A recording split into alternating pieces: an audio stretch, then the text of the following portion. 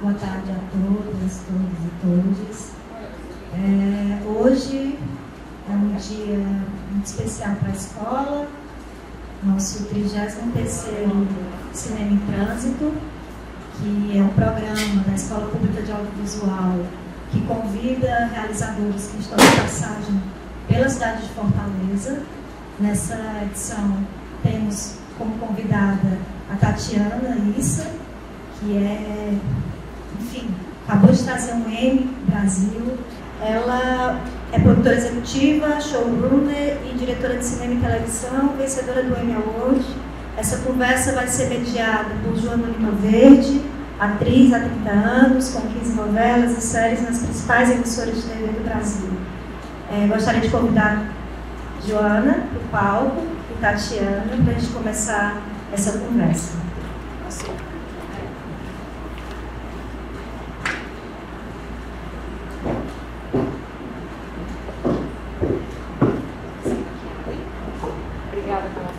Obrigada, Obrigada, viu, Kênia? E aí, meu bem? Meu bem, isso aqui vai ser praticamente um papo de comadres, tá, gente? Porque essa amizade tem mais de 20 anos. Eu sou muito fã dessa, dessa mulher, dessa grande diretora, grande artista. É, latina poliglota, fala, sei lá, seis línguas, além de ser uma beleza em forma de pessoa, por dentro e por fora. Mas hoje a gente vai falar sobre cinema. E eu estou especialmente orgulhosa e feliz, porque sim, dia 8 agora, passado, essa moça ganhou mais dois Emmys Awards. Então são três agora, para uma coleção de mais de 40 prêmios internacionais. Tatiana começou a trabalhar com audiovisual é, quando se mudou para a cidade de Nova York. Começou do zero, do nada, não existia produtora, ela e mais os parceiros dela, o Bulto, o Rafa, a Kai na Coragem, levantaram essa produtora que hoje é, faz conteúdo para diversas plataformas de streaming, é, canais a cabo. Dizzy Croquettes, que especialmente a gente vai falar também um pouco mais sobre hoje, além do Parto Brutal, também da HBO, que já é a série documental mais assistida da plataforma. É, Dizzy Croquettes também é o documentário brasileiro que mais ganhou prêmio no exterior até hoje. Então, eu acho que a gente tem muito que escutar dessa moça, vocês já falaram. Imagina, que isso, que isso. Então, Tati, para começar, é, explica um pouco como foi essa tua mudança de paradigma. Você sai do Brasil, você era mais conhecida como atriz, mas você também já estudava e já planejava em trabalhar atrás das câmeras. É, como é que foi esse teu início lá em Nova York? Foi muito por acaso, né? É, é muito louco o destino, né? Assim, é, eu comecei a vida trabalhando muito menina, né? Aos sete anos, é, como atriz, né? Numa muito por acaso.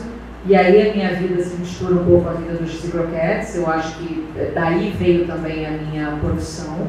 Fala por quê? Porque eu era muito, muito pequenininha e morava, e meu pai fazia parte do grupo, meu pai era cenógrafo dos Croquettes, fazia lá cenografia e tal. E eu, muito pequenininha, aquela coisa muito de vida de artista, uma vida dura e tal, não tinha por que deixar a criança, né? Não vou levar para onde, não tinha babá, né? Aquela coisa anos 70 e tal. Então, ah, vamos, não tinha onde, a criança vai sumir, né? Eu vivia nos bastidores, até as imagens que tem nos Ibrocast, tem aí imagens minhas em Super 8, assim, deitadinha na, nas cadeiras do teatro, dormindo na coxia e tal. E aí, ah, para não perder ela, bota palco, vamos criar um personagemzinho, porque a gente não perde a criança, tá, tá, tá vendo. Então punha lá e eu ficava ali e tal. Então, com sete anos eu fiz a primeira peça, que era uma peça muito importante, chamada As Mil Mil Encarnações por Loredo, que marca o início do, do chamado Teatro Besterol do Brasil, que era feito por Vicente Pereira e Mauro Razzi eram dois grandes autores, né? Que depois inspiraram uma geração toda, que é o Miguel. Miguel é filho deles, né? Todos esses, né? Caran e tal, todos que vieram após essa, essa fase são filhos desse teatro besterol, que virou uma febre e tal, né? Então a gente fez o primeiro que marca, tô, inclusive eu estou pequenininha, aos sete anos, na capa do livro, que é o livro que conta a história do teatro besterol, né? É, então a gente, enfim, a gente inaugura ali um gênero teatral. E dali eu passo a fazer uma peça atrás da outra. E aí, por acaso, Jorge Fernando, que também foi de Zibroquetes no segundo momento, que era um diretor de TV muito importante, na época menino ainda, começando a primeira novela dele também, a primeira novela que ele vai dirigir no Globo, precisava de uma atriz pequena, era Guerra dos Sexos e tal, era uma época que não tinha tanta ator né? hoje tem muito, né? Naquela época tinha muito pouco. Né? Você, Gabi Alves, você é. fazia o anjinho da Isabela Garcia, Isabela Garcia. E, e Celto Mello, né? E é, Tom, é, né? Tipo, é, o Bergan. O Bergan também, exatamente, o Bergan também. Então era meio 4 ou 5 que tinha né, disponíveis. Então ali eles me pescam e me colocam para fazer essa novela e aí vai uma historinha que uma, né, um personagem foi puxando o outro. Eu digo que eu fui virando atriz, eu fui sendo atriz muito por acaso. Né? Não foi uma escolha, foi uma vida foi levando dos 7 anos aos 27 anos. E aí aos 27 anos, isso fazendo muitas coisas, né? trabalhando muito teatro, fiz uma carreira muito longa de teatro, trabalhando na Áustria, em Viena, fazendo espetáculos grandes, é, filmes importantes. Né? filme da Norma? É, fiz, eu fiz alguns filmes, né? Eu fiz o filme do Nelson Pereira dos Santos, Juliabá, que eu fazia também a, a, a protagonista menor, né? Menina. É, e depois agora a amiga daqui, né, Zé Jamaicá, é, com norma e tal. É, a gente é acessível, né? Beijo. Márcio Garcia, de Índio. Hoje não aconteceria isso, né? Hoje seria é, é, vetado totalmente com toda razão, com né? certeza. É, com toda razão. É, mas, enfim, aí fui trabalhando muito no por acaso, assim, da carreira de atriz, muito sem querer ser atriz.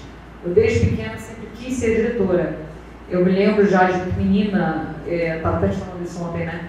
É, de, das câmeras eram antigas né, na TV Globo e a gente ficava fazendo novela e eu, eu lembro de estar em cena, mas eu já ouvia o zoom da câmera. Eu, eu ouvia um barulhinho fazer assim, zzz, eu falava, tá no aberto, zzz, tá fechando, zzz, tá na câmera 4. Eu já sabia o número das câmeras, eu já observava o entorno. Meu interesse era muito mais o funcionamento daquela câmera, que lente é aquela, que ângulo é aquele que luz que está vindo de cima, do que o, o, estar na frente da câmera, né, o estar atrás. E aí, por acaso, a minha vida, é, acabei indo para Nova York, visitar um amigo meu de infância, que é o Rafael Alvarez, que era ator também. É, e o Rafael morava lá em Nova York há muito tempo já. E fui visitar, e meu pai morreu nessa época de HIV, foi uma coisa muito triste, muito punk assim da vida.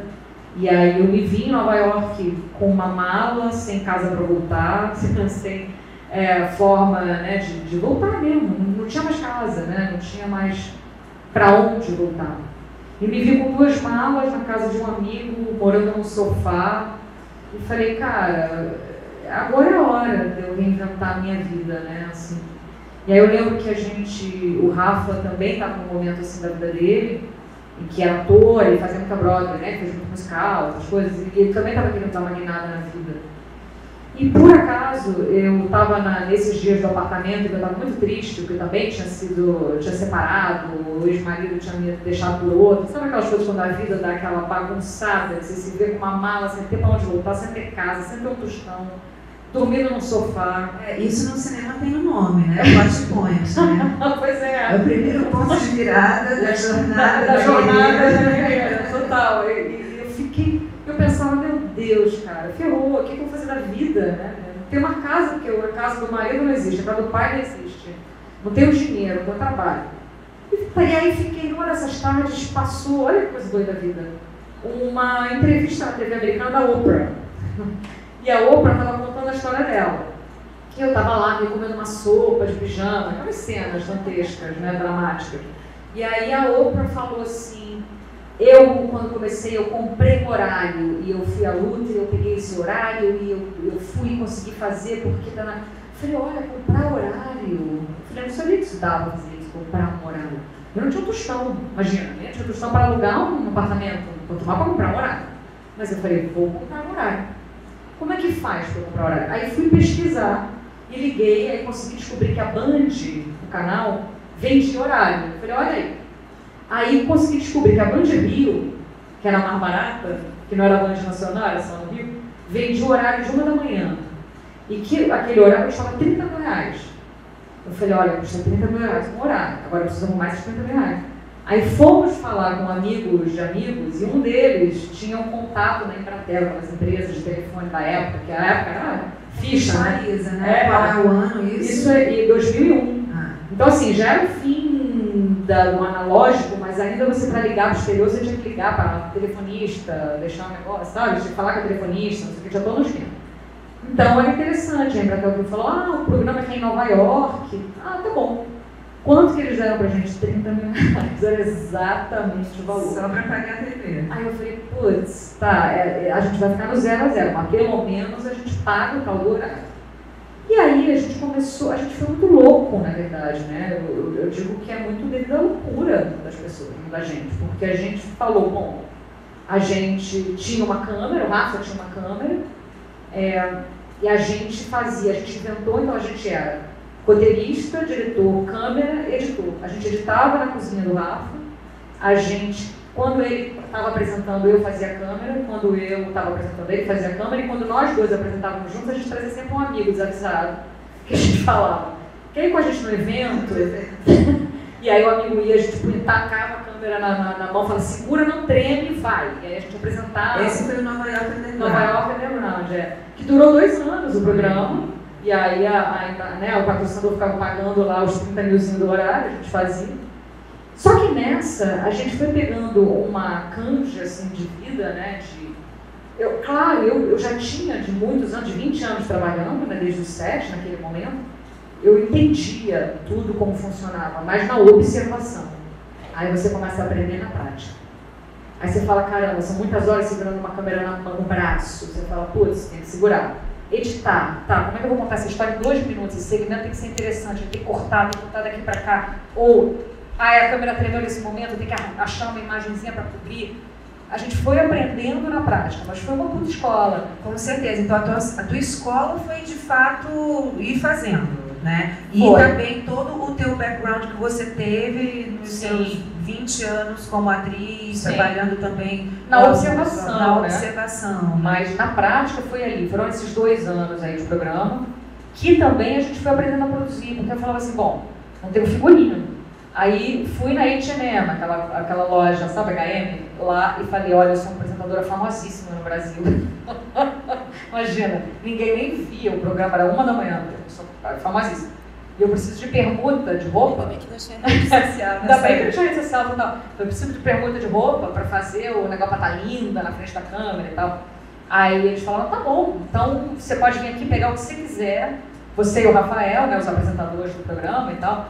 É, e aí vocês gravam um comercial pra, pra gente, interno, programinha, porque como a gente comprava horário, não tinha comercial também. Então a gente começou a descobrir que pegava mal. A gente deu o programa inteiro sem ter um comercial, a gente tinha que inventar um comercial. Então a gente falou, bom, então beleza, vamos gravar um comercial da H&M. Aí a gente começou a dirigir um comercial fictício. Mas a gente dirigiu o comercial, pegou um elenco da Broadway, que hoje estão todos famosíssimos, fazendo crepúsculo, são todos famosérrimos, cantando no, no rooftop e tal, e a gente fazendo tudo, tá, tá, tá, como se fosse um baita no comercial. E fomos fazendo comerciais para colocar dentro do horário, é, para né, parecer para o público que aquele programa tinha, de fato, patrocinadores, né? É, então a gente foi criando assim, a gente foi aprendendo a dirigir comercial. Ah, beleza, então tem que dirigir em 30 segundos uma historinha sobre aquela marca. Nisso a gente foi aprendendo muito na Garra. E acabou que a gente era tão doido, acho tão corajoso, que a gente entrevistou todo mundo nesse programa você possa imaginar. Whoopi Goldberg, Martin Scorsese, Robert De Niro, Bruce Willis, Robbie Williams. É, Todos, todos os grandes nomes americanos a gente entrevistou, a gente conviveu, a gente fez parte do programa. O programa acabou ficando legal. Tinha uma plateia, era Rio, mas um sucesso, no Rio as pessoas mandavam, na época, carta, né, e-mails, né, para emissora e tal. Então foi ali uma grande, grande escola do aprender. Então eu digo que hoje, né, até agora eu estava gravando em Belém, deu um problema na câmera, eu peguei a câmera e fiz o segmento inteiro na câmera. Claro, as câmeras mudam as, as tecnologias, mas você não perde aquilo que você aprende, que é o você se vira, né? É, e a gente não tinha nem nome das pessoas para pôr no crédito, né? Porque ia ficar Tatiana e Rafael direção. Roteiro, Tatiana Rafael. Não sei o que, Tatiana Rafael. Então a gente foi pedindo para os amigos emprestado. Posso pôr seu nome como se fosse um figurinista? Não, põe lá.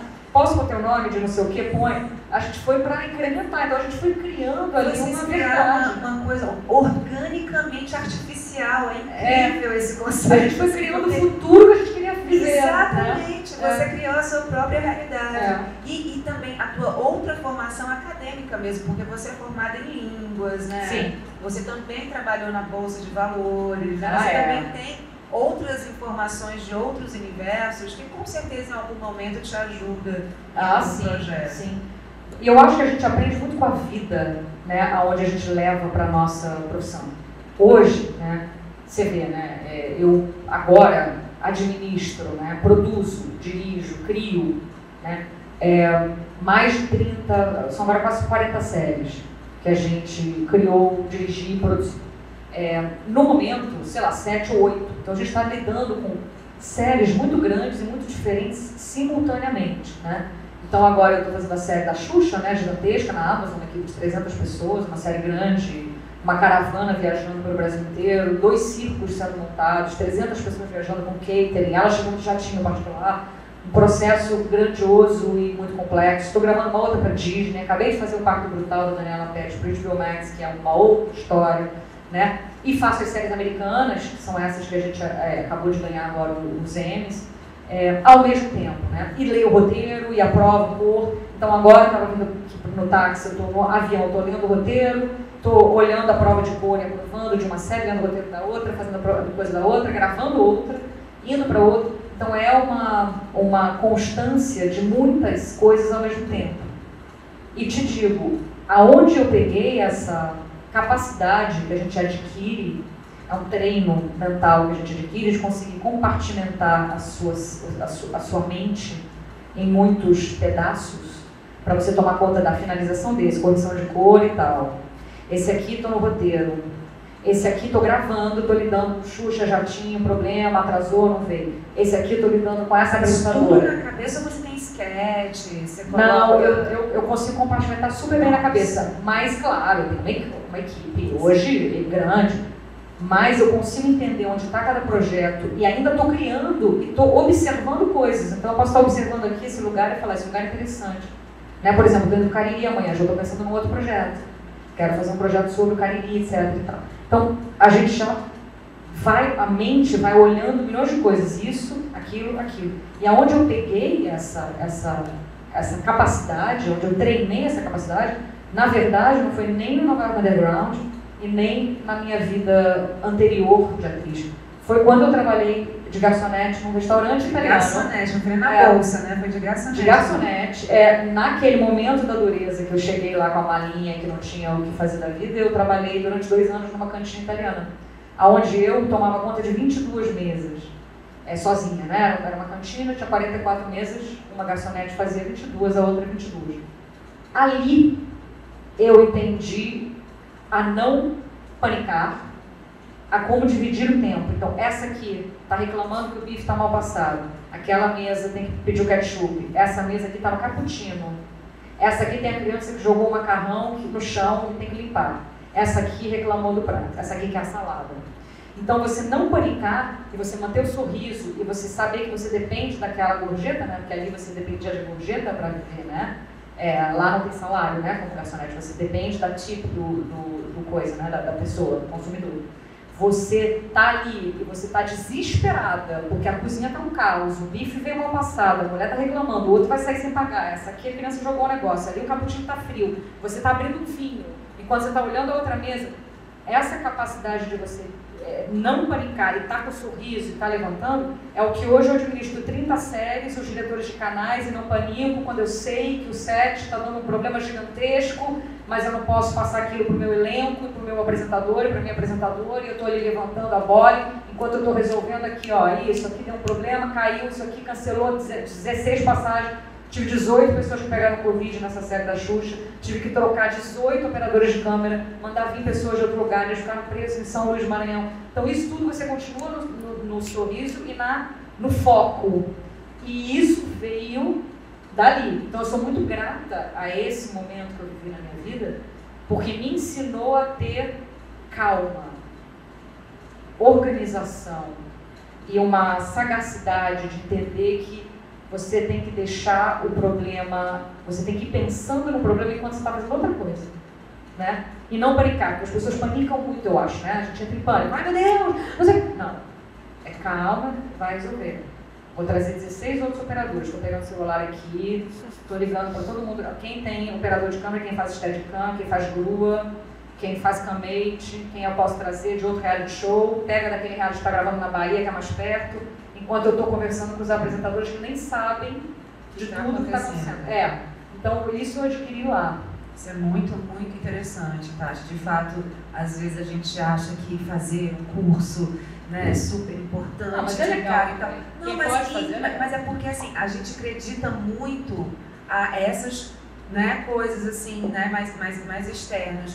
Mas, de fato, todo o aprendizado que a gente tem durante a vida, que a gente acha que não, não vai usar, a gente usa absolutamente tudo, né? Inclusive, voltando um pouco para o tema principal também aqui da nossa conversa, que o Gisicroquetes foi também uma homenagem ao teu pai, mas também uma história que merecia e já estava passando da hora de ser contada, né? Ah, com certeza. Eu me lembro que o, o Gisicroquetes é muito louco com essa história, né, gente, desse filme. É uma loucura mesmo. É, o Gisicroquetes foi um grupo né, muito importante nos anos 70 no Brasil. Mas muito importante mesmo. É, eles revolucionaram a dança, eles revolucionaram o humor, eles revolucionaram a sociedade, né? Gírias que a gente fala hoje, a gente deve ao grupo, né? Como chat, por exemplo, chat foi uma coisa criada ali pelos croquetes, né? E hoje a gente fala e está no dicionário, inclusive, né? É, e a gente não se dava conta. As frenéticas vêm das zicroquetas, que era uma versão feminina dos zicroquetes. O humor todo que você vê hoje está no ar, é um filho do Zicrocast. TV Pirata é um filho do Zicrocast. Tinham autores, né, tinham pessoas do Zicrocast que escreviam para TV Pirata naquela época. É, tudo que, que hoje a gente vê né, tem um dedo deles. E também do Lenny Dale na música, né, na bossa nova, na Elis Regina. O Lenny é o cara que é, treinava né, e coreografava é, a Elis Regina, que preparou a Elis. Tem um personagem dele no filme da Elis. É, tem, ele tá lá, claro. Ele é importantíssimo na história da Elis, né? É, e na história do Beco das Garrafas, e na história ali da, da Bossa Nova, porque ele trouxe um profissionalismo que não existia na Bossa, né? É, naquela época, né? O Beco das Garrafas, Copacabana, aquela Ipanema, era uma coisa muito orgânica e brasileira e tal, e o Lenny é um cara americano que chega ali muito talentoso e muito disciplinário, assim, sabe? Muito disciplinador, sei lá qual é a palavra. E ele mesmo é um artista mirim, né? Ele é, começou muito novo. Começou aos 10 anos também, criança, e era o bad boy of Broadway, né? É, fez Cleópatra com a Taylor, era amigo da Liz Taylor e tal. Um cara muito importante, fez muitos espetáculos. E chega no Brasil, se apaixona pelo Rio de Janeiro e fica, né? É, e ao ficar, ele revoluciona ali muita coisa. Ele, por acaso, encontra com aquela trupe, né, que era capitaneada pelo Wagner Ribeiro, que era o autor, o roteirista, vamos dizer assim, dos Croquetes, o, o cara do humor do, do, do, grupo, e se une aí vírus de Croquetes como é. Mas, assim, o grupo teve uma importância gigantesca, tanto que hoje, após o filme, é, o grupo é estudado na Columbia University, na NYU. Eu fui dar diversas palestras sobre a importância que os microcréditos tiveram na cultura brasileira, muito mais até fora do Brasil, na Alemanha, na Itália. Então, você resgatou de fato a história dos é, E quando eu comecei a fazer o filme, não existia nada. Você punha no Google, né? É, não via nada. Você punha Lene Day, eu não via nada. Você punha Wagner não via nada. Eu falava, não é possível, não é possível. É, e não tinha mesmo, né? tanto que as imagens de arquivo que a gente conseguiu recuperar é, eram da TV alemã, né? porque a Alemanha, a Europa, a França, sobretudo, né? eles foram. É, Liza Minnelli, né, que está no filme, quem eu entrevistei na casa dela para o filme, a Liza é fã absoluta, né? Tanto que abriu a casa dela para mim. Ela falou: Olha, não recebo ninguém na minha casa e não dou é, entrevistas para documentários, imagina, né? Estrela e tal mas para os croquetes eu, eu abrirei minha casa, vem aqui e tal. É, assim como ela, Jagger, e todos eram fãs dos croquetes, na plateia. Os croquetes eram todos esses, Josephine Baker, e é, todos, absolutamente todos dessa época, é, os grandes nomes, eram absolutamente fãs ardorosos dos E o Brasil não havia nada que falasse sobre isso. É, e eu contava para todo mundo, né? Porque aí eu cresci com eles nos bastidores, meu pai cenógrafo ali, daquela loucura, e eu, menina, morando com eles em Paris, criada ali nas coxias do espetáculo e tal. E eu contava para todo mundo, né, da importância dos desvios, eu contava para todo mundo das gírias, eu contava para todo mundo da dança, do humor. E quem era da minha geração ou mais nova não sabia do que eu estava dizendo. E eu falava, nossa, isso tem que ser contado, né? Então, claro, aí faço documentários com o Rafael, fazemos o doc, e a gente fez um tostão. Era uma época também, mais uma vez, né? Mais uma vez é uma aposta na loucura.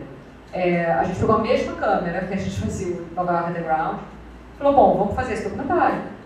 Viemos para o Rio de Janeiro, fomos para o Rio de Janeiro, entrevistamos 45 pessoas. Todo mundo abriu a casa para gente, de Marília Pera, Miguel Falabella, Cláudia Raia, a to, todo mundo, Faria, quem você quiser pensar está no filme, né? está no nosso documentário. E todos abriram a porta, sim, mas é óbvio, mas tem que falar, mas é de uma importância absurda, como é que ninguém falou ainda, etc e tal. E fizemos o doc, assim, muito na cara e na coragem, sem dinheiro, só a gente, com uma equipe pequena, que a gente conseguiu reunir, que topou fazer por acreditar na história, né? Era, claro, também, é, paralelamente, uma homenagem ao meu pai, né? porque era uma história dele né? também ali. Então tinha um lado emocional muito bonito. É, e a gente faz o filme. É, aí entrevistamos o César Camargo Mariano em Nova York, que era né, marido deles na época e tal. É, e aí o César é o primeiro a ver um pedacinho, assim. A gente mostra para o César em Nova York, o César vê, César fala, nossa, muito bonito e tal. Eu falei, cara, eu vou mandar para o Canal Brasil, né, para o Paulinho Mendonça, que é um cara absolutamente genial, que já tinha é, tido ali uma importância muito grande os Secos Molhados, um cara que tem uma história importantíssima na música e na televisão brasileira, ele foi diretor do Canal Brasil durante muitos anos, e é um amigo muito querido. E eu mandei para ele, eu e o Rafa mandamos para ele um DVDzinho na época, com o primeiro corte bruto do filme, é, e ele se apaixonou na hora. E aí o Canal Brasil entra com o produtor e aí dá pra gente a finalização e a gente pode ali né, é, ter a correção de cor do filme, ter o licenciamento musical, que eram coisas caras, né? Porque eram muitas músicas de James Brown, e, né, enfim, Billie Holiday, etc. Era Elis Regina, né, Gil. Né, Gil também está no filme, estão todos no filme, né? O filme é um, um elenco estelar, assim, gigantesco e muito bonito ver todos eles ali é, enaltecendo a importância do grupo, né, que havia sido perdido. E aí a gente tentou ainda alguns patrocinadores na época, porque ninguém patrocinava, é o filme LGBTQIA+, no momento em que o Brasil Qual é o ano? É, isso a gente rodou em 2008, o filme estreou no Festival do Rio em 2009. Uma época que não, ninguém queria fazer projetos LGBTs e... Não, nessa época era GLS. GLS, exatamente, nessa época era GLS. Ninguém queria fazer projetos assim, ai, não, é nichado, ninguém quer, não, eu não, nunca, não vou botar minha marca associada a isso. E aí acontece um fenômeno extraordinário. A gente ganha o Festival do Rio nas duas categorias de melhor filme pelo público e melhor filme pelo júri. A gente ganha a Mostra de São Paulo, a gente ganha o prêmio do Itamaraty, e a gente ganha um prêmio do Itamaraty como melhor filme de importância histórica, de resgate histórico, ganhamos medalha da, da, Presidência da República na época também. E o filme viaja o mundo, e o filme vai parar em Berlim, o filme vai parar em Tribeca, o filme vai parar é, em todas as cidades, ganha mais de, a gente ganhou mais de 40, acho que quase 50 prêmios com Cicroquetes, se tornando um dos documentários mais premiados do Brasil, se não mais. É, e aí a gente falava muito, quando a gente sobe no palco do Festival do Rio, a gente falava, nossa, olha quantos patrocinadores a gente poderia ter agradecido, né? É, mas é louco isso, né? Quando a gente faz, a gente, a gente não teve medo, sabe, de não, de não fazer. Você lembra que você estava lá, você veio, né, na gravação? Estava, é, é, é, Eu lembro. Eu vi, eu estava. É. E, e esse, acho que duas palavras resumem, Tati, é, a tua trajetória e a tua coragem, assim, em relação a essa questão toda, que é fenômeno e ousadia, porque Outro fenômeno é justamente um dos seus últimos trabalhos, né, para a HBO, que é o Pacto Brutal, Assassinato de Daniela Pérez, que não se falou em outra coisa. É. É, apesar de ser uma história muito, muito pesada, é, mesmo as pessoas que não costumam ver true crime, que não, né, não, não costumam é, gostar dessa pegada, se sentiram impelidas a assistir, principalmente quem da nossa geração se lembra, a gente lembra perfeitamente onde é que estava, o que estava fazendo, o que é que estava, como recebeu a notícia. Eu ainda fico toda arrepiada. É. E e, de novo, assim, se tornou um fenômeno, inclusive da plataforma, né? Em números mundiais. Não, e é tão louco, porque não só a, a, série ficou mais de três semanas como a série mais vista no mundo, né? A gente viu mais mundo, barrando é, House of Dragon, Euphoria, todas essas séries de ficção importantes e grandes aí, né? É, a, o Pacto Brutal é, bateu todas elas. Então é um fenômeno mesmo ali de números, né? Uma coisa jamais vista, jamais vista na plataforma, jamais vista na HBO Max.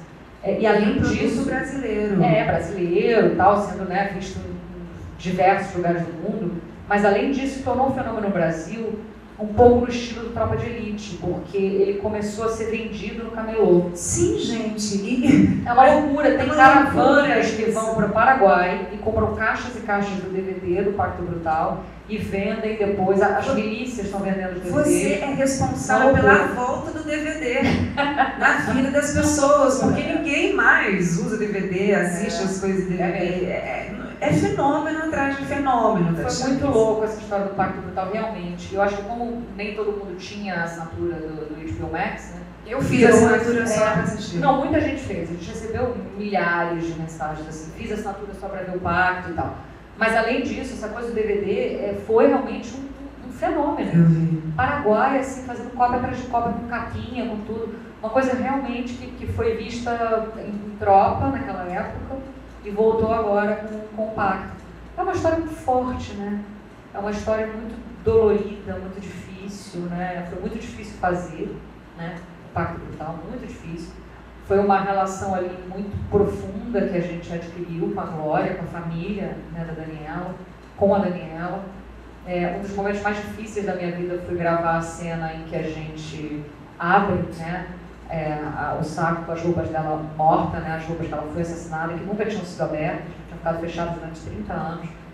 Então você pegar naquele tênis com aquela terra ainda, aquela calça manchada ainda de sangue, né, a blusa com todos os furos e tal, você segurar aquilo, é com cheiro ainda, com a terra, é uma coisa muito, muito bruta, muito difícil. Eu chorei é, 40 minutos ininterruptos nesse dia no SEDES, porque era muito duro, assim, né, isso, porque a gente já estava falando disso, as fotos da perícia são muito duras, a gente não botou nem um terço, né, no ar do que a gente tem do material bruto, e nem um terço no ar das fotos que a gente tem, porque a Glória disponibilizou, a partir do momento que ela confiou em mim para fazer aquele projeto, esse projeto, ela no dia seguinte deu o acervo dela inteiro para gente, para mim, para o Guto Barra, e disse: tomem conta e façam a história inteiro, tudo, tudo, todas as cartas pessoais, todas as roupas, todas as fotos, todos os álbuns de família, todas as, eh, as coisas dos autos do processo, todos os documentos, todas as fotos da perícia,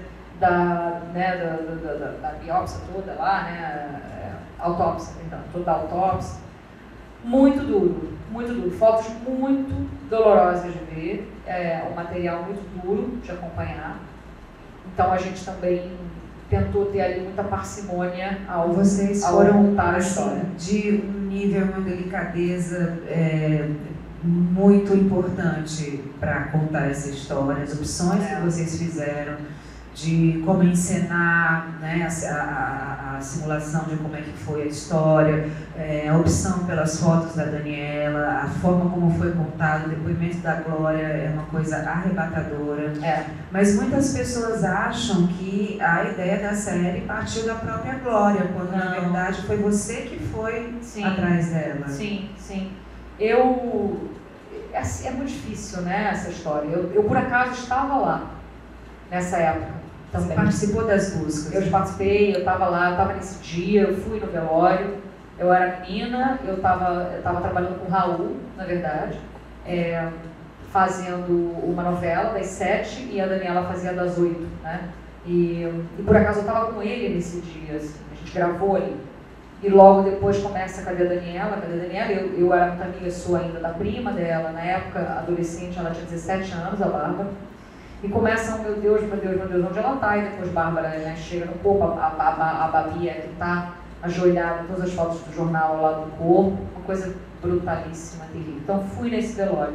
E essa, né, nessas seis horas da manhã, aquela loucura que foi aquele as pessoas pulando os túmulos, agarrando os artistas, uma coisa muito vicial, eu tinha 18 para 19 anos, uma coisa muito bruta, realmente, tudo aquilo.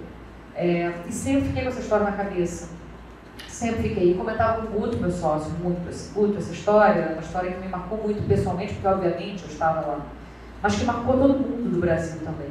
É, até porque pela forma como ela foi conduzida. Justo, né? porque assim como os Giz Croquetes, você dava uma busca, você também não, não tinha o lado da história não, da Daniela contada. Ficou, claro que ficou, permaneceu fofoca, ficou a fake news, né, que foi contada tantas vezes que acabou se tornando é. a verdade, só agora 30 né? anos depois é que ela de fato deve ter tido alguma paz. Era uma coisa que a Glória sentia muito essa tristeza, assim, né, de, de ficar só perpetuando, né, é, inverdades que foram sendo perpetuadas durante 30 anos, né, por parte de quem ainda está vivo para poder falar, né, e, e a vítima não. Então era muito duro isso, para ela, muito duro para Raul, muito duro para a família. E a gente, e eu falava muito isso para Guto, assim, eu, eu quero contar essa história, eu acho importante, até pela forma como foi conduzida, né?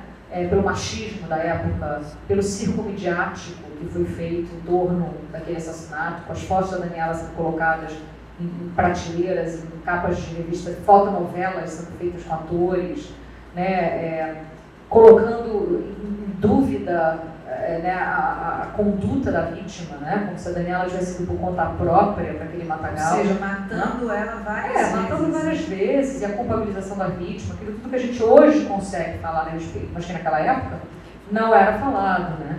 É, também como as testemunhas foram tratadas, né, por serem é, pessoas sem recursos, pobres, né, e serem tratados por aqueles desembargadores e, e advogados, e, e a imprensa na época, né, é, amedrontando eles, então é muito duro também enquanto as testemunhas sofrem no Brasil, né, são coagidas. É, muitas coisas me interessavam falar ali. E eu, um dia, mandei uma mensagem para a Glória, assim, eu, eu, sonhei com a Daniela por acaso, assim. E eu falei, cara, quer saber? Eu, eu falei para Guto, Guto, vamos fazer essa história lá. Ah, já, alguém já deve estar tá fazendo, né? A Globo já deve estar tá fazendo, agora já deve ter feito. Eu mandei uma mensagem para ela, mandei um e-mail para ela, uh, meia-noite assim, né? Eu acordei e falei, vou mandar. Ah, quer saber, vou mandar. Mandei uma mensagem para ela, falei, Glória, querida, faz tempo que a gente não se vê. Eu não sei se você já está fazendo esse documentário, pode ser que você já esteja fazendo. Se você, ou se você não quer fazer, porque eu respeitarei para sempre e não farei. Mas caso você um dia queira contar essa história, eu quero colocar à sua disposição, farei com muito respeito, com muito cuidado. Uma e meia da manhã, que agora não dorme, uma e meia da manhã ela responde imediatamente, Tatiana, eu vi os croquetes, eu vi a sensibilidade que você teve para falar sobre o seu pai, é, carinhosamente de um assunto muito dolorido, como HIV e muitas coisas foram tratadas naquele outro filme. É, eu gostei muito da tua delicadeza, da tua mão, e tinha que ser você. Você estava lá, é uma mulher, é importante que uma mulher conte essa história também. Então, tá na tua mão, vai. E aí deu pra gente, pra mim, pra Guto Barra, carta branca pra gente fazer, não se meteu é, muito pelo contrário, sempre colaborando muito, né? Glória maravilhosa, né? Assim, colaboradora maravilhosa, mas sempre respeitando muito né, a gente. E o canal também, eu acho que uma das grandes coisas que o HBO Max fez assim, nesse projeto foi dar a gente a liberdade para contar essa história da forma que a gente queria contar. Então, por exemplo, a gente foi uma opção nossa não, não darmos voz a Guilherme Spado e a Paula Tomás, não, não entrevistarmos os assassinos, a gente observou muito que os true crimes no Brasil, sobretudo, é, acabavam dando voz e luz aos assassinos e não às vítimas. Né? E a gente resolveu ir no caminho oposto. Apesar de né, muitos canais talvez tivessem é, pressionado né, para que a gente tivesse né, os assassinos. Né? Eu acho que o caminho natural seria pensar, pô, eles estão vivos, eles estão aí, como se não vão entrevistar? Né? E a gente comprou essa briga, é era uma briga ousada e difícil. Foi a né? melhor escolha que vocês fizeram é. e é o que torna o, o documentário, a série, melhor ainda, porque de fato, depois de tudo aquilo que a gente escuta da boca da Glória, da boca do Raul, as provas que a gente vê, ainda escutar é. essas duas criaturas de novo, depois é. de 30 anos que vêm repetindo a mesma ladainha. Exatamente, eu acho que seria é, é, repetir discursos que já foram perpetuados à toa. Né? A gente precisava ouvir quem nunca foi ouvido. Né? A Glória, a própria Glória, não, não, não pôde depor no julgamento da própria filha e ela não falou durante 30 anos dessa história. Né? A Glória tinha dado pequenas entrevistas, muito pontuais, né? sempre com temas específicos. Né? Ah, a criação da lei, né? Aí ela falava sobre a criação da lei, ou ela ia no jogo pedir para assinatura, ou, né? eram coisas muito pontuaisinhas. Ela nunca tinha sentado para falar dessa história. Então a gente optou que ela fosse a última a ser entrevistada. Foram três dias de depoimento com a Glória seguidos, mais de 18 horas de material. É, a gente chorava, a gente parava muito, chorava e chorava e voltava e se olhava a equipe inteira chorando. Naquele momento eu falei, essa série é, vai dar certo, porque quando você vê a equipe, a equipe é teu primeiro público. Quando, te, quando você vê teu operador de áudio soluçando, quando você vê o teu fotógrafo escorrendo a lágrima, tendo que parar para respirar, ou fazendo uma pergunta, falando, posso perguntar um negócio? Quando você vê que a equipe está ouvindo o conteúdo, é quando você entende que você pegou uma audiência, é a teu primeiro público, né? E quando a gente foi fazer as, as, as reencenações, né, reenactment, né, de fazer ali e tal, a gente tomou também uma decisão muito precisa, que era não colocar atores. A gente falou, não, eu não quero colocar atores fazendo o assassino, a faca. Não, eu, a gente queria muito dar a sensação do medo. Quando você convive com psicopatas, é, que eles estão ao teu redor, você não sabe. Né? Eles te veem, mas você não os vê. Você não sabe que eles são psicopatas né? É, na vida. Então, o perigo, esse medo que nos circunda, tanto que a gente apelidou né, essas reencenações de animais noturnos, porque a gente fez a sensação do medo. É uma sensação, é algo que você vê e não consegue tocar, é algo que você não consegue distinguir. Tem algo que te arrepia naquele lugar. Tem medo de alguma coisa que você não sabe o que é. Então a gente achou que isso era mais condizente com o que aconteceu ali do que a gente colocar um ator e uma atriz com cabelinho liso fazendo a Paula Tomás daquele carro. Então a gente fez o quê? O carro, mas era a roda do carro chegando, é o, o mato só, né, no escuro, o mato fazendo barulho, é o silêncio tirar o som, é tirar a trilha. Ou é, às vezes é um drone né, do escuro, a gente pediu para fazer drones é, horizontais, passando pelas janelas das casas, no horizontal, escuras, de uma Copacabana noturna e vazia. É uma sensação de que tem alguma coisa, pode ter alguém em alguma janela vendo que eu não vejo. E isso foi uma decisão também que a gente tomou. Também uma decisão ousada, porque a maior parte dos é, true crimes que são feitos no mundo e no Brasil também, acaba tendo atores que fazem cenas, né, que fazem ali o corpo tal, não sei o quê, e a gente optou por não ter. É, muita gente falou, poxa, mas como é que as pessoas vão entender, né, é, o assassinato, como é que elas vão ver quantas é, né, é, punhaladas foi no coração, como é que elas vão ver o corpo sendo arrastado, elas vão entender que ela, ela levou um soco e saiu, vão entender, porque o conteúdo é forte. Né? A gente tinha as provas da perícia, a gente tinha as fotografias e a gente tinha as imagens reais. Então a gente pontua ali com coisas muito pontuais, mas na maioria das vezes com essa sensação do medo. E uma outra coisa que a gente fez também no storytelling, né, na maneira de dirigir a série, é que a, a Glória falou uma coisa que me marcou muito um dia. É, na casa dela, assim, ela falou, ela, ela veio com a sapatilha, ela falou, ela, ela foi pro julgamento da Daniela com a sapatilha na mão. Eu falei, por que você foi com essa sapatilha na mão? Ela falou, porque neste pezinho dançava, né, uma menina. E ela fala, essa sapatilha é a pureza da minha filha, é a delicadeza da minha filha. E eu levei essa sapatilha que simbolizava a delicadeza para um julgamento que, que, que, mostrava a brutalidade. Que ela dizia muito isso, né? Minha filha se tornou um desenho, né? Quando alguém morre, a pessoa vira uma descrição da perícia. Mulher, morena, 22 anos, é, 1,60m, cabelo não sei o que, liso, e vira aquele, aquele bonequinho, né? Que não tem sexo, que é um bonequinho onde põe ali, onde foi a facada, onde foi a facada. Então, você vira um desenho, uma descrição. Você deixa de ser um ser humano. E ela falava muito isso, da delicadeza com a brutalidade. Dali, a gente falou, vamos dirigir essa série dessa forma. Então, É uma coisa que pouca gente percebe, mas se você notar se você for assistir, você ver que todos os episódios, cinco episódios, começam delicados. É a delicadeza. É o ano de 92, é uma coisa delicada, tá todo mundo bem. O outro episódio é a Dani delicada, o outro episódio é a Glória, na, na vida dela florescendo como autora. E num momento preciso, na mesma minutagem, quebra brutalmente. Pá! Aí começa a porrada. Aí elas, né, aí já vem a brutalidade. É a brutalidade sempre rompendo de maneira bruta e abrupta a delicadeza de uma vida sendo ceifada, né, de uma família inteira e tal. Então, os cinco episódios começam com a delicadeza e são brutalmente ceifados pela brutalidade. É sutil, mas ele leva o espectador nessa jornada e ele arranca ali do nada. Quando você está feliz, quando você está, ai, a Glória agora virou autora, quando você está, essa menina linda dançando, casou, encontrou o amor da vida dela, bum, vem a brutalidade e corta, que foi o que eles passaram naquele triste 28 de dezembro. Assim.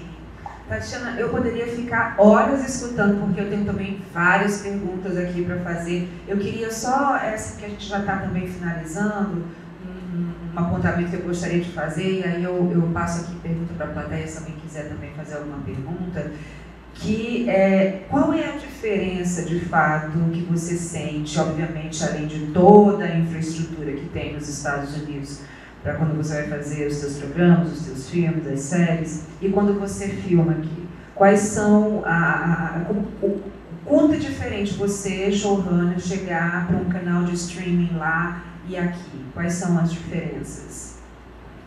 Eu acho que é muito parecido, na verdade. Eu acho que o que difere é o produto.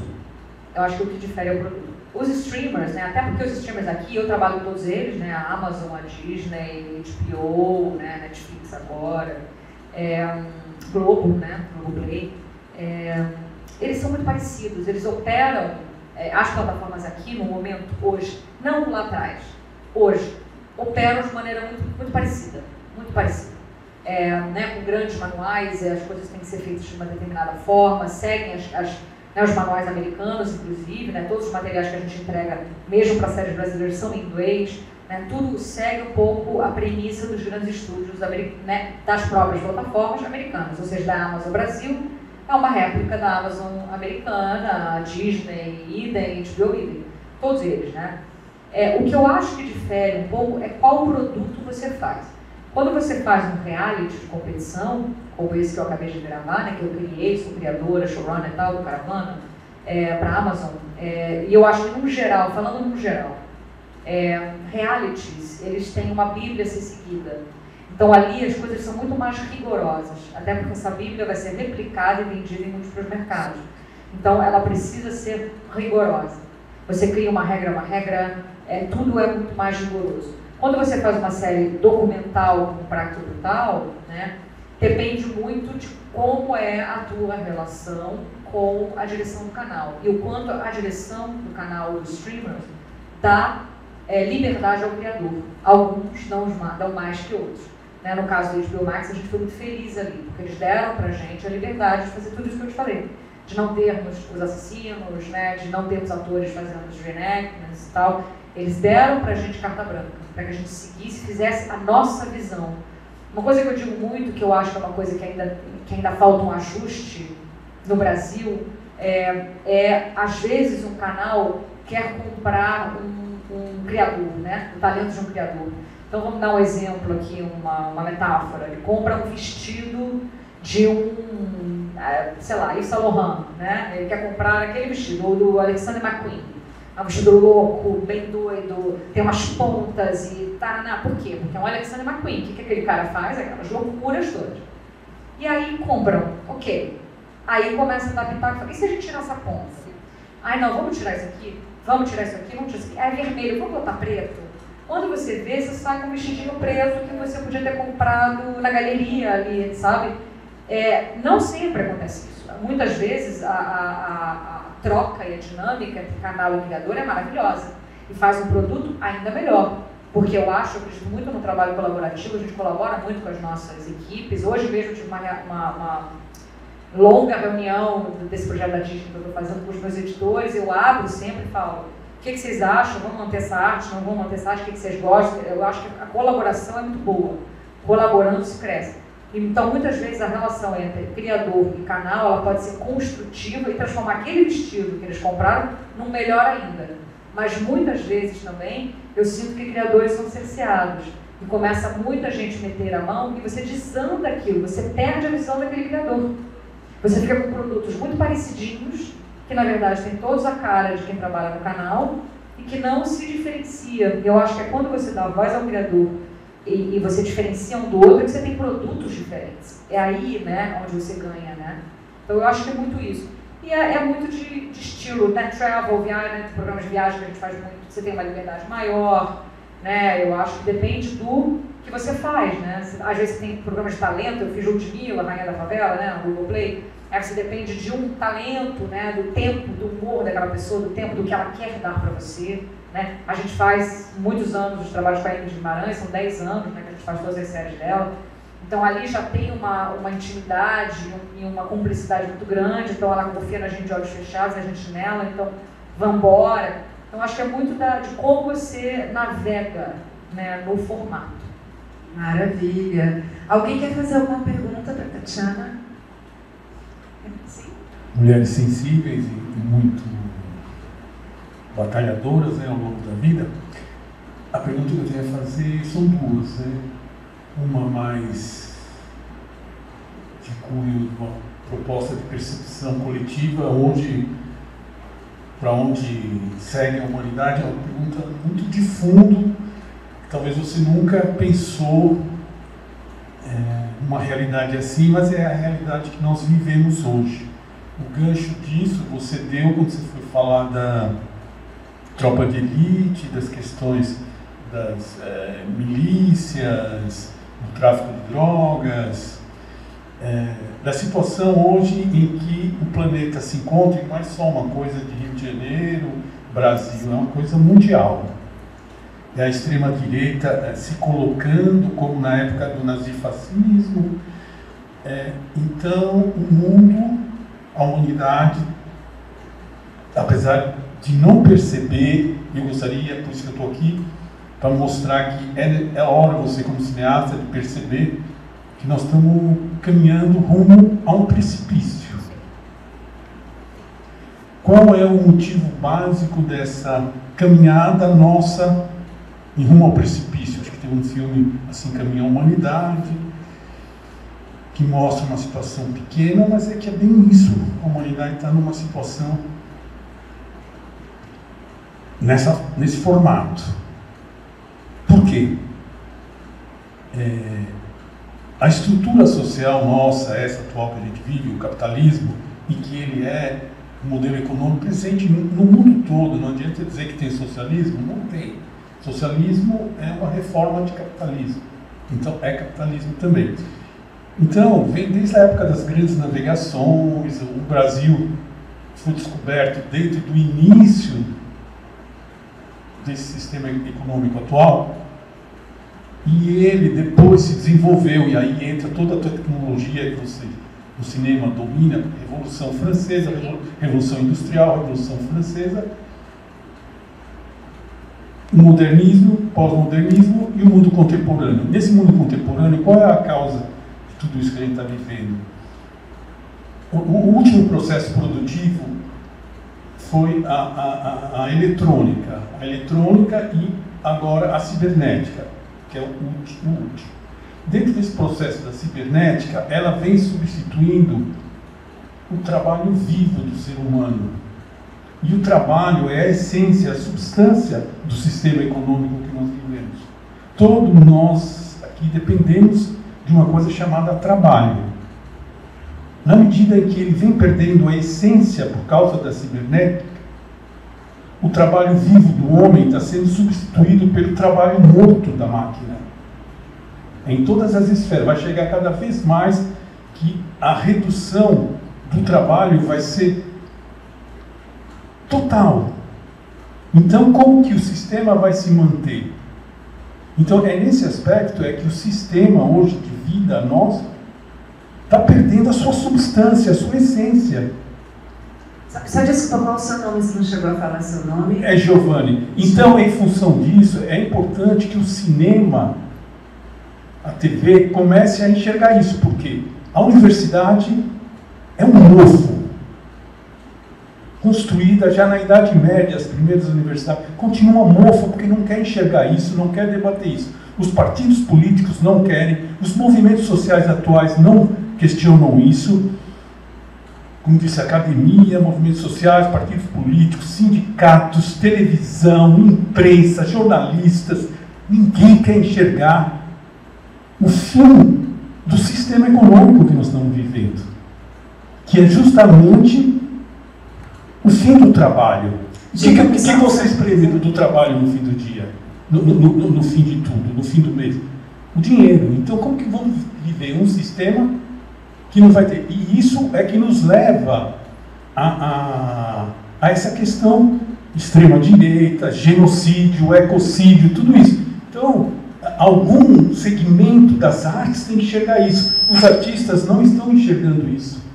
Chico Buarque de Holanda, você parou, parou lá naquela música Bom Conselho, ouça o Bom Conselho. Só, só um então é isso. A gente está no final, tá tem algumas perguntas aí. Tá bom, então fiz a pergunta. Ah, só para isso. É, você acha pertinente essa provocação, essa sugestão de que é necessário que o cinema, as artes se voltem para enxergar que nós estamos no limite de um sistema econômico. Assim como o feudalismo acabou, esse sistema econômico atual está acabando e nós estamos indo para um precipício. O cinema pode ser um grande alerta. É isso. Sim, sim. É, Giovanni, acho muito importante a tua fala, inclusive. É, você tocou em vários pontos aí, né? Se eu tivesse tempo, a gente poderia debater vários deles que são muito importantes e muito pertinentes mesmo. Eu concordo com você, acho que a gente está num momento delicadíssimo, né? terrível né? da humanidade, problemático. É, é preciso fazer algo. É, a gente faz muito aqui do lado de cá. Eu acho que cabe a gente, né? É, primeiro você falou a coisa muito da automatização, né, e tal. E eu acho que nada substitui o talento, nada substitui a sensibilidade. Estou falando agora na minha área, né, especificamente. É, então, na minha área, por exemplo, é uma coisa que eu luto muito contra, né? Câmeras robôs e coisas e tal, porque eu acho que nada substitui olhar para o fotógrafo, nada vai substituir um roteirista, nada vai substituir uma maquiadora, nada vai substituir a pessoa que prega né, uma coisa num movimento de um teatro é, não, o ator nem se fala, mas todo, né? Todo mundo. Pode ser holograma. É, mas há uma sensibilidade em cada profissional. Meu pai, vindo da técnica, é, ainda mais, assim, né? Eu acho que há uma sensibilidade é, em cada cenógrafo, cada pessoa que faz cada coisa que, que permanece num projeto de teatro, de audiovisual. Então, nesse aspecto aí da tua fala é, sobre isso, eu acho que é muito importante que a gente é, entenda que, ok, existem novas tecnologias que podem facilitar, às vezes você precisa de 40 câmeras, 50 câmeras no set, você não tem espaço físico e você precisa adotar câmeras robóticas. Mas eu luto contra, muito, porque eu acredito ainda muito na sensibilidade, no talento individual de cada um. É, outras questões, né, é, no trabalho da gente, é, e depois você, você, pode dar uma olhada lá e, e ver, a gente faz muitos projetos que são para levantar essa consciência. É, acabei de fazer um filme, por exemplo, que também foi para o Festival do Rio esse ano, ano passado, chamado BR Trans, né, sobre assassinatos de transexuais no Brasil. A gente é, faz muito no Silvério Pereira, né, é, cearense. Cearense, a gente gravou inclusive no Crato, gravou lá no tudo. É, mas era muito, é muito triste, porque a gente pegou as transexuais do Brasil inteiro, né, e números alarmantes e tal. E a gente fez é, inúmeros, acho que a gente tem mais de 10 projetos que são de cunho é, sociais LGBTs, sobretudo, e raciais também. O é, M que você ganhou agora? O M que eu ganhei agora é um dos M's que eu ganhei, foi na categoria Diversidade, é, Equity e Inclusion, né, inclusão, é, é, equidade, acho que não fala. Equidade. Equidade e, e diversidade, nas questões raciais, sobre é, as piscinas do Harlem e como são tratados os negros americanos é, na, em, no que se chamam de águas divididas. Né?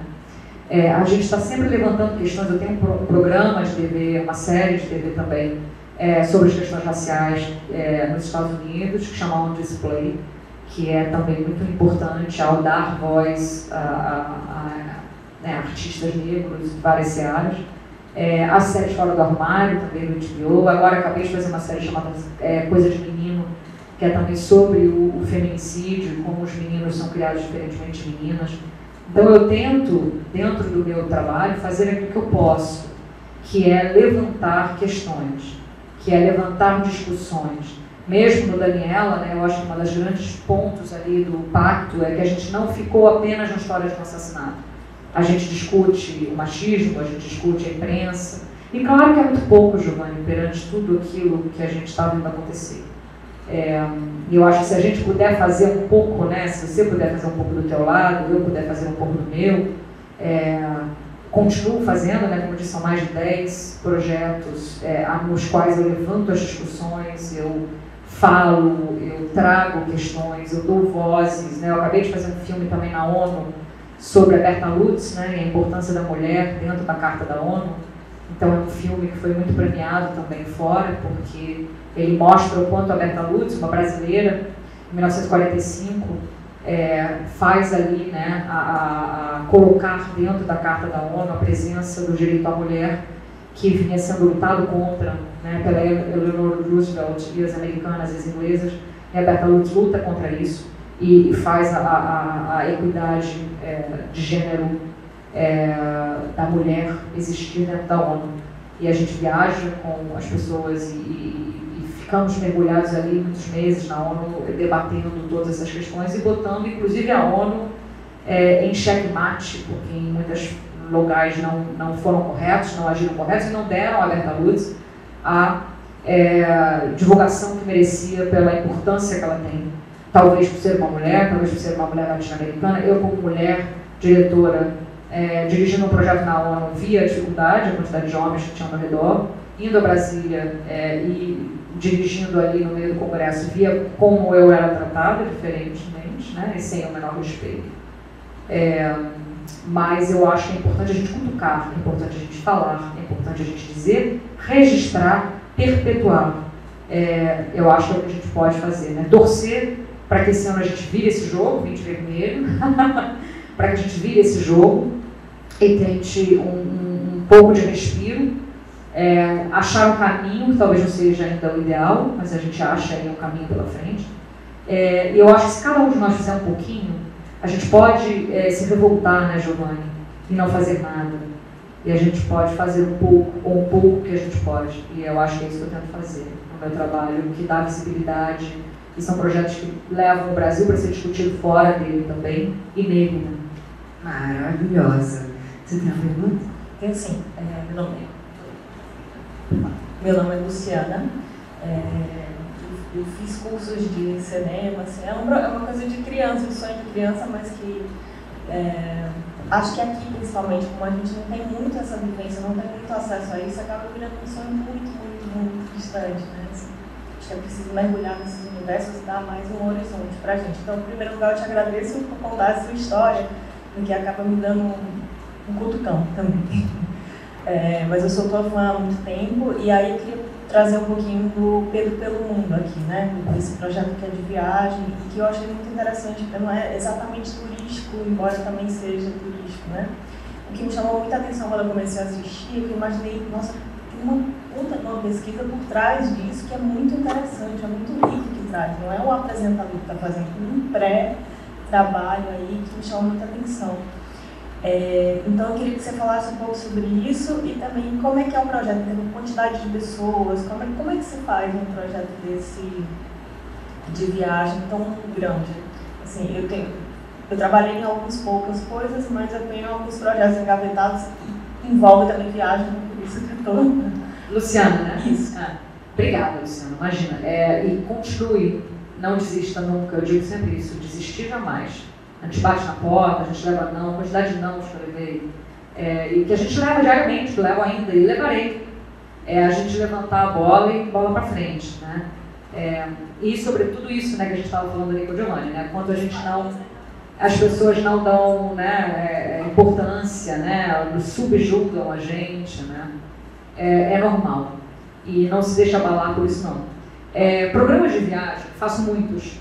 É, eu faço alguns agora, inclusive de arte, né? São muito bonitos, se puder veja, chama Geografia da Arte. A gente fez um agora sobre o Cartier-Bresson, que era um fotógrafo muito importante, um dos maiores fotógrafos do mundo, e a relação dele com a Índia. Então a gente ficou muito tempo no interior da Índia.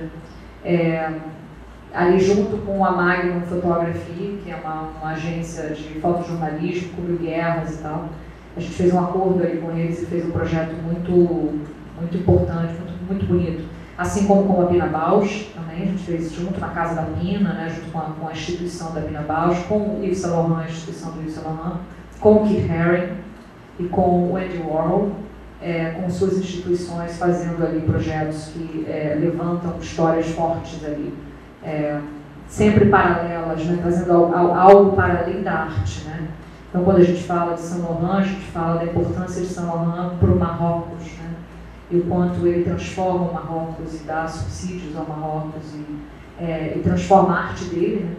é, com as cores da, da, do Marrocos e, ao mesmo tempo, o Marrocos se transforma com a presença de São Laurent. Né? É, e assim por diante. Né? Então, é, Keith Harrison, Laurent, é, Donald Judd, é, Georgia O'Keeffe e o, e o Novo México, e assim por diante. Projetos de viagem são projetos muito difíceis de fazer. As pessoas que veem né, é, as fotos no Instagram né, de quem faz projetos de viagem, parece que você está vivendo a vida mais maravilhosa. Está, está. Porque você, eu me envolvo muito, eu acho que existe um envolvimento pessoal muito grande né? Eu acabei de fazer um projeto agora na, na, no interior da Síria com as mulheres refugiadas. Fiquei um tempo lá fazendo sobre como as mulheres refugiadas da Síria sobrevivem agora. Muito duro, né? elas sobrevivem agora dos grãos da Mesopotâmia, que elas conseguem é, trazer, e são empregadas, né? É, é, recebem emprego, né? é, melhor dizendo, é, no, no interior da Turquia, pelas mulheres turcas. Uma história muito bonita é muito dura, né? Então quando você viaja ali, você está na Síria, você está na Turquia, você está no Líbano, você está no Irã, né? gravei no Irã bastante tempo, e você convive com realidades muito duras, isso mexe em você.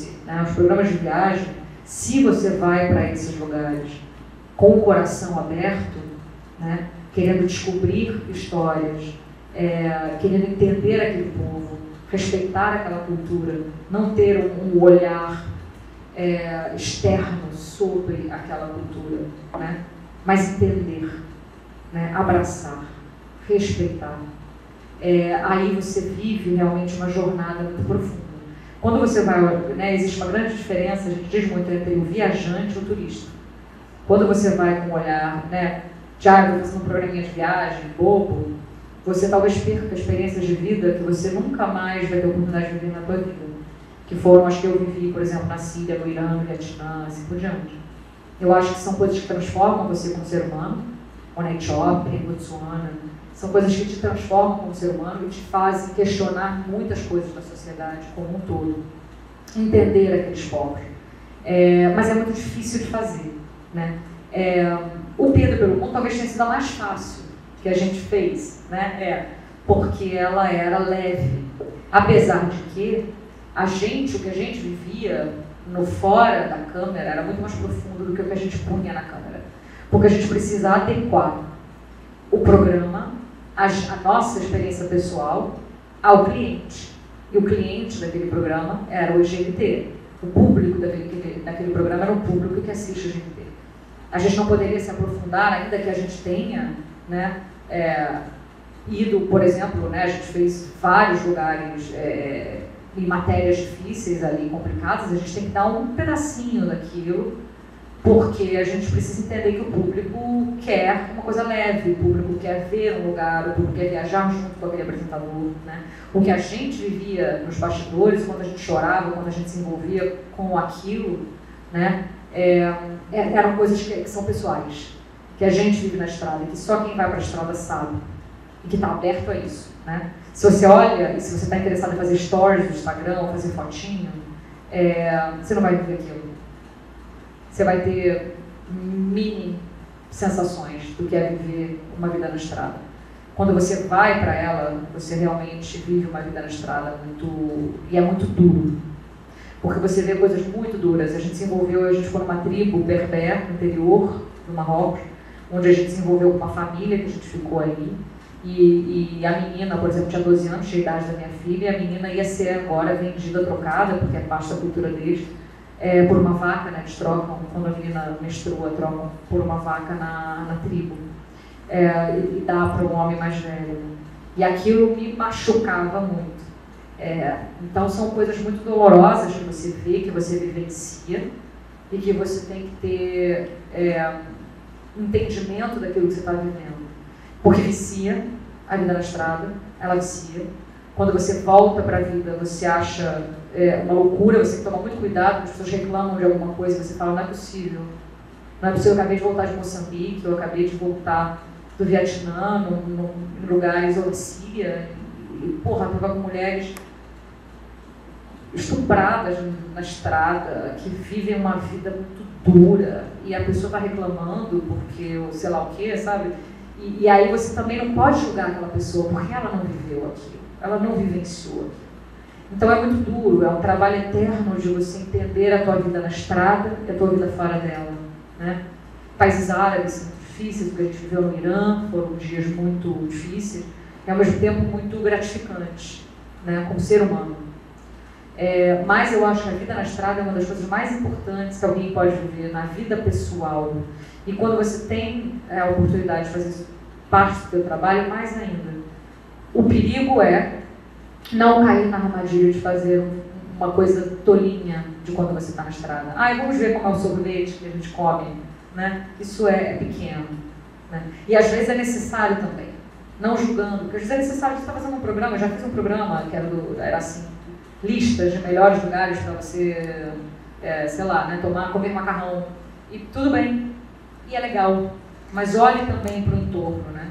E aí as equipes são menores, e aí é dureza.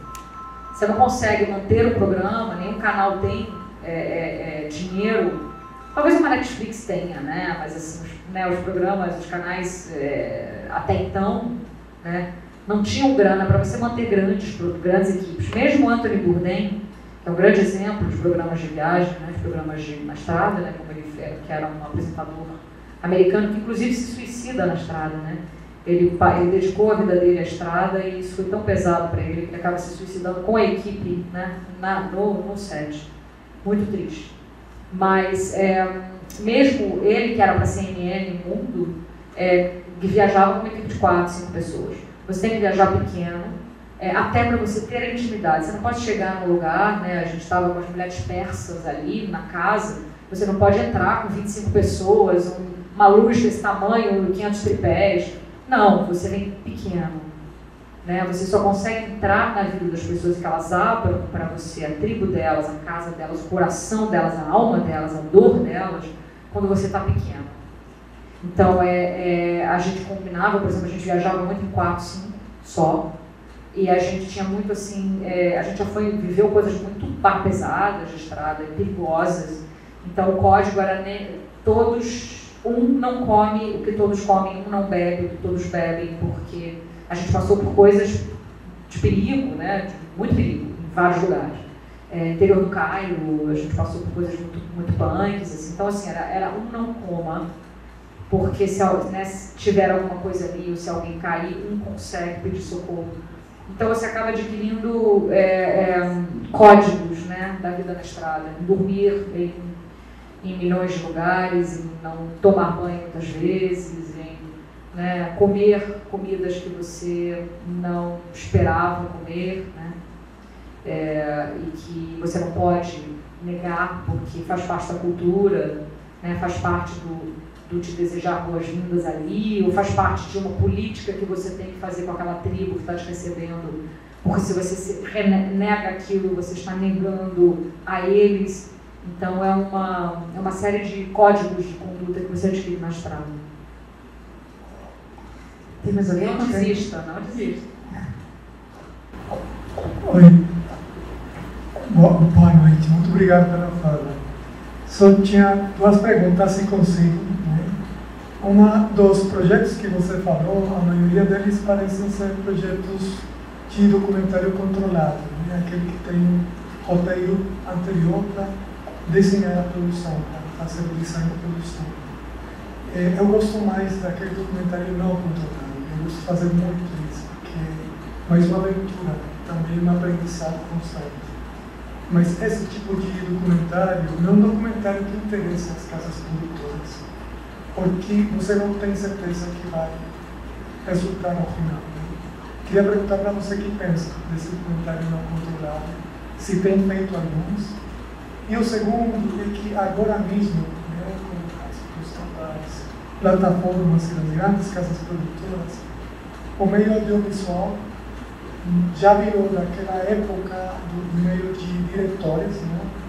aquele tempo do Tinetitai, Godard, Cinema BNT, já não existe mais. Agora é o tempo do audiovisual dos produtores.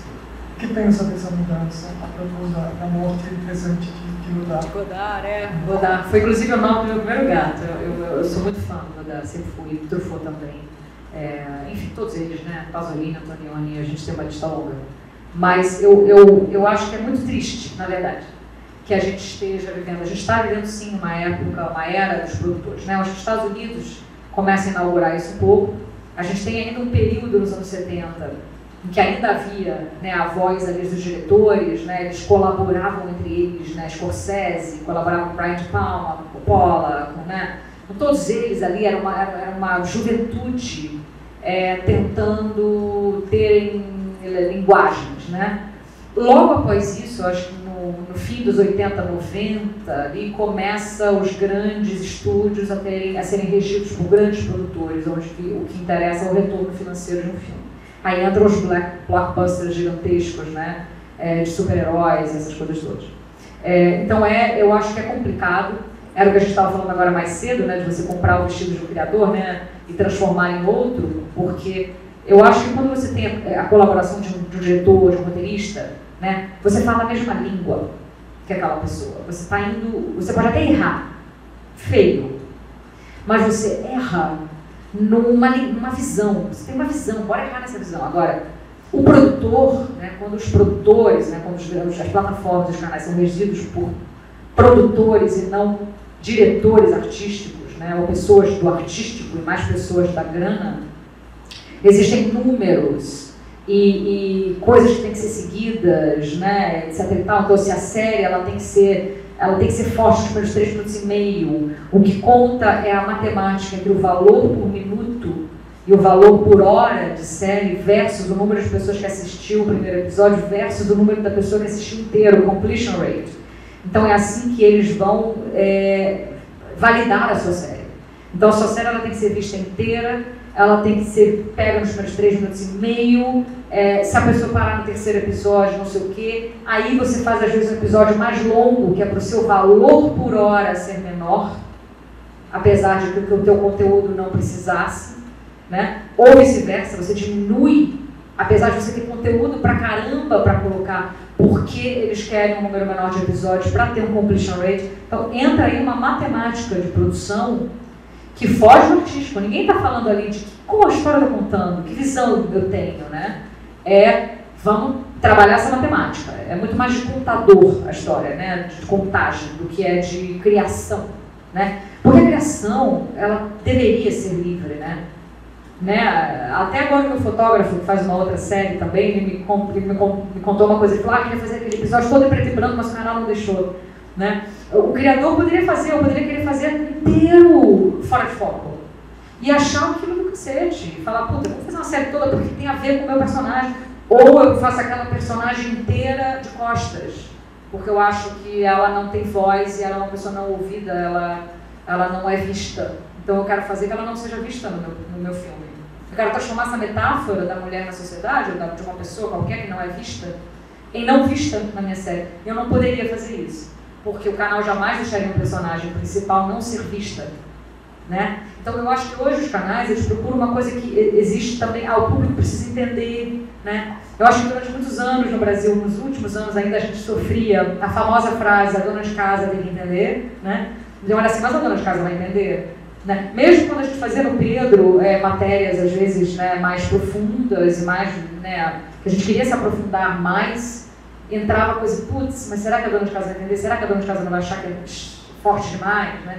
Existia um pouco sempre essa pressão do que o público vai dizer, é, como o público vai entender. E eu acho muito que a gente precisava é, quebrar essa regra. Não subestimar o público. E talvez não vai entender. E talvez eu fizesse uma série inteira sem a protagonista aparecer, né, invisível, e talvez ninguém entendesse. E tudo bem, e tudo bem. Porque eu acho que é aí que a gente vê coisas pintando, né?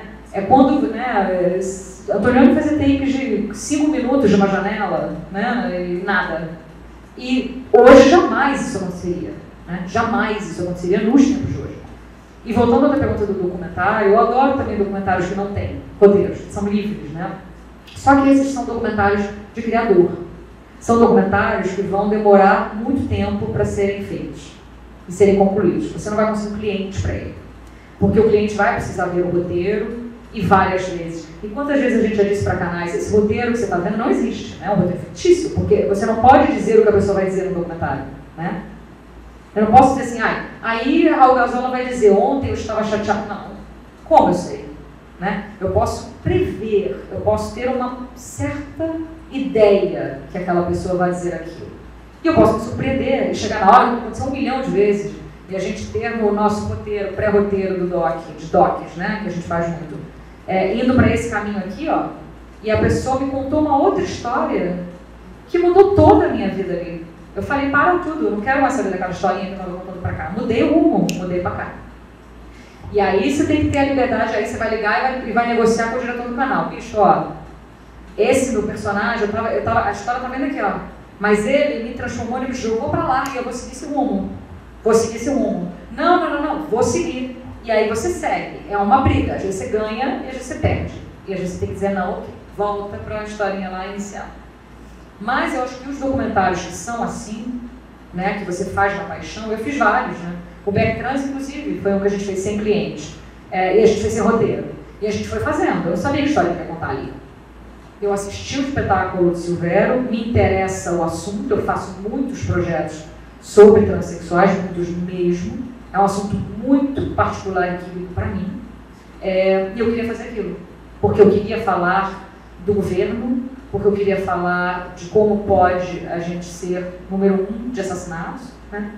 E deste filme, eu fiz o Trans costurando, houver apenas costura, o espetáculo dele, eu fui catando trans do Brasil inteiro, é, né, reais, fui botando as histórias delas, costurando o filme. Deste filme, a gente já, foi quando entrou o Bolsonaro no poder, eu peguei uma das trans desse filme e já transformei um outro que fala sobre a influência, né, o momento que Bolsonaro entra e o assassinato e a violência com transexuais, né?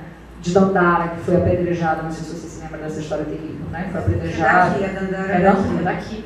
É, e naquele momento eu disse, isso é uma loucura e eu quero acompanhar. Então eu estou acompanhando ainda, um filme que vai demorar para ser feito.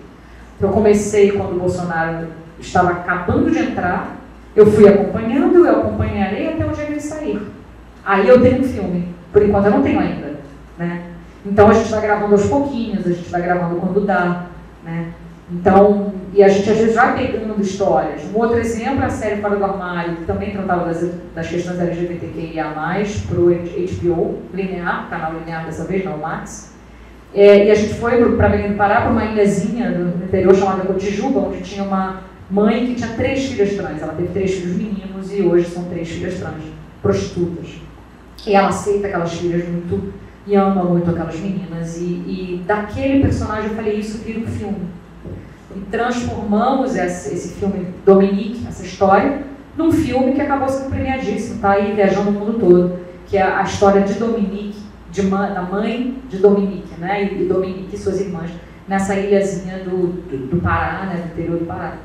Então, às vezes, você vai fazendo projetos que não tem roteiro. Eu não sabia que eu ia encontrar essa personagem nessa ilhota de Belém, gravando uma outra série, e que eu ia fazer daquilo um filme.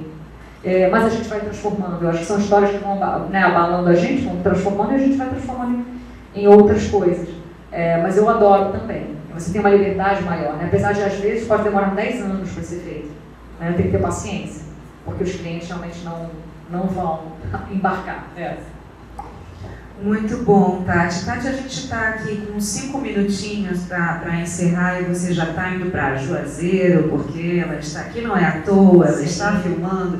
E eu gostaria de falar justamente sobre isso, que você desse uma préviazinha para a gente desses dois projetos que você veio filmar aqui em Fortaleza, Caravanas das Dreves e Mashup Brasileira. É, o porquê que você escolheu Fortaleza, né?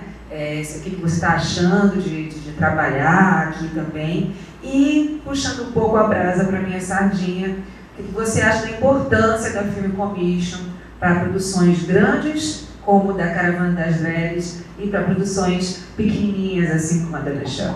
É, não, é importantíssimo. Eu acho que é, é toda a importância né, da, da secretaria, né? Eu acho que é importantíssimo. A ajuda, é preciso ajudar, né? Porque é muito complexo filmar, né, gravar. É, e você vê, é complexo tanto com uma equipe de 300 pessoas, que era né, a série da Amazon, quanto com uma equipe pequenininha, que a gente está aqui de 4, 5 pessoas, que é essa série aqui. Né? É, a importância é igual, né? É, em diferentes searas. Quando você está com 300 pessoas, você tem uma logística gigantesca. Né? Você emprega muita gente. Né? Então você está dando aí, é, né, são 300 pessoas que têm que comer, né? então são caterings e, e galpões, e mesas, e cadeiras, e hotéis, e transporte, e van, né, e segurança, e, e, e tudo mais, né, é, que engloba você estar com 300 pessoas na estrada, né, é, é complicado. E as locações né, são muito grandes, tem que caber 300 pessoas. A gente viajava com dois circos, né, literalmente circos de lona sendo montados né, paralelamente, simultaneamente, em nove capitais brasileiras. É, uma caravana mesmo viajando, né? muita gente. É, a gente lotava aviões inteiros com a equipe, né? Uma loucura, fora os caminhões todos, eram oito, dez caminhões que iam com cenários e figurinos. E, adereços e câmeras. Foram nove cidades. É, Conta um pouquinho para então, gente. São nove cidades é, brasileiras.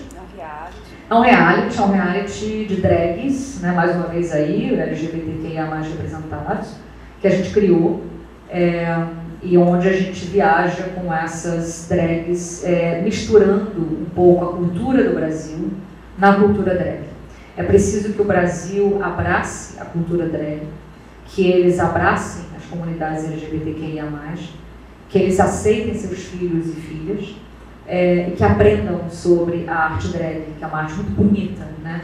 É, e era uma delícia, porque as drags vinham, né? E as provas desse reality eram todas culturais. Então elas tinham que vir é, e mergulhar no mundo do cordel, mergulhar no mundo do maracatu, mergulhar no mundo, enfim, né? De todas as capitais que a gente foi, né?